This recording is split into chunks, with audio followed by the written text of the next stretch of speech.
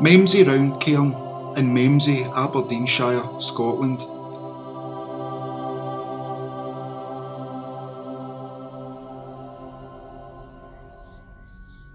Memsie Round Cairn is an unusual prehistoric site in Aberdeenshire.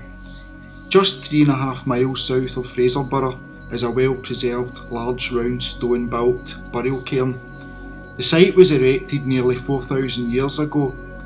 At present the site remains a fine sole survivor of a three cairn arrangement. Memsie is 4.5 metres high by a 24 metre diameter.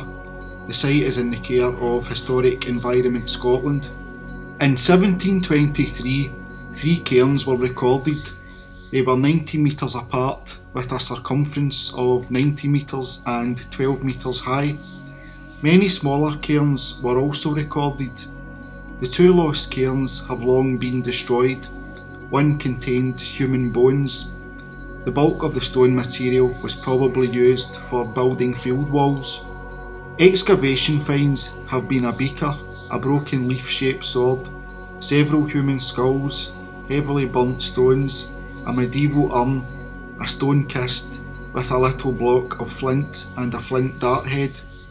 Our ancient ancestors used these enigmatic cairns from early Bronze Age up until the medieval period.